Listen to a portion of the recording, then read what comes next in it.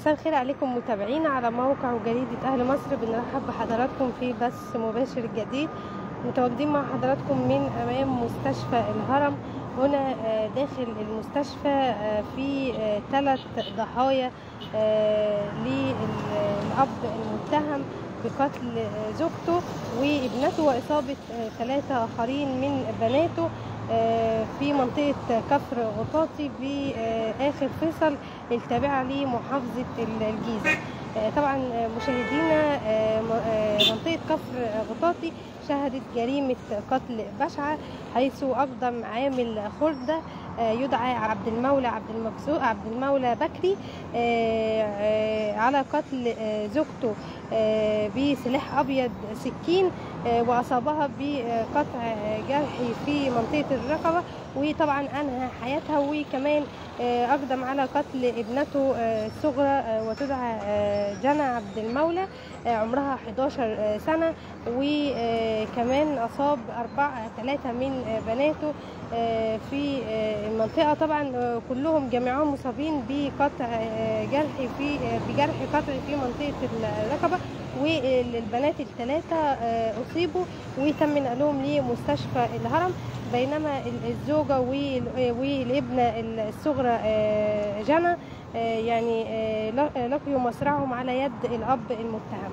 آه، طبعا ال- البداية كانت آه، بتلقي إلى الأجهزة الأمنية بالجيزة بلاغا بوجود جريمة قتل حيث آه، ذبح آه، زوج زوجته وأبنائه الأربعة. وسط حالة طبعا من الهلع وتم العثور على ال- ال- الجثث آه، وسط بركة من الدماء. طبعا آه، تحريات رجال المباحث أفادت أن المتهم آه، هو رب الأسرة ويدعى عبد المولى بكري عامل خردة وكان قد خرج من السجن حديثا. وطبعا بعد بسبب نشوب يعني خلاف ما بينه وما بين زوجته أقدم على قتلها أمام بناته ال- الأربعة. وطبعا آه، كمان آه، آه، أصاب ثلاثة من بناته وقتل الابنة ال- الرابعة. آه، طبعا الضحايا آه، ال- الزوجة تدعى رانيا حسن عبد المقصود عمرها 40 سنة ربة منزل. والابنة المتوفية تدعى آه، جنى عبد المولى عمرها 11 سنة. بينما ال- ال- البنات الآخرين المصابين واللي هم آه، دلوقتي داخل مستشفى الهرم أسمائهم آه، ملك عبد المولى آه، عمرها 18 سنة ومنى عبد المولى عمرها آه، 15 سنة وسجدة عبد المولى عمرها 8 سنوات. المصابين كلهم آه، مصابين بجروح قطعية في منطقة الرقبة وتم آه، يعني نقلهم لمستشفى ال- الهرم في حالة حرجة. وطبعا رجال المباحث بتقوم بعمل التحريات الكاملة للوقوف على ملابسات الجريمة والاستماع لشهود العيان آه، في منطقة كفر غطاطي بمنطقة الفيصل التابعة لمحافظة الجيزة. كمان النيابة العامة أمرت بالاستعلام عن الحالة الصحية للبنات الثلاثة المصابين آه، وفور تحسن حالتهم الصحية. هيتم طبعا آه، يعني سألهم عن ملابسات الواقعة ولكن البنات حاليا في حالة حرجة. آه، بسبب ال- الإصابات ال- والجروح القطعية اللي في منطقة الرقبة طبعا آه، ال- المتهم وهو ال- الأب المتهم النهارده آه، النيابة العامة أمرت بحبسه أربعة أيام على ذمة التحقيقات.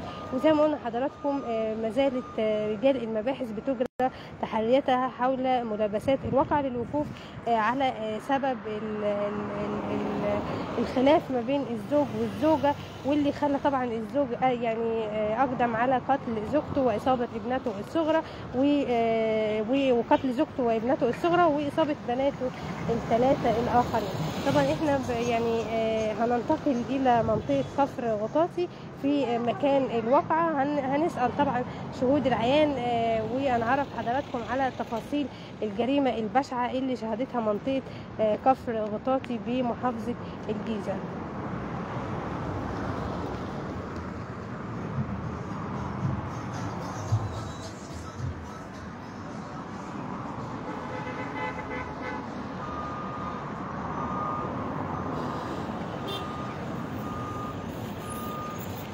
مشاهدينا زي ما قلنا لحضراتكم إن النيابة العامة أمرت بحبس ال- الزوج المتهم بقتل زوجته وإصابة ابنته آه، وقتل زوجته وابنته وإصابة ثلاثة من أبنائه.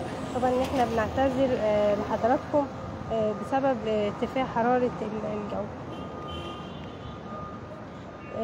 كمان النيابة العامة أمرت بانتداب الصفة التشريحية للجثتين اللي هي الزوجة والابنة آه، لبيان سبب الوفاة. وطبعا زي ما قلنا حضراتكم آه، طلبت الاستعلام عن الحالة الصحية لل- ال- للبنات المصابين عشان الوقوف على ملابسات الجريمة. نشكر حضراتكم جميع متابعينا على موقع جريدة أهل مصر.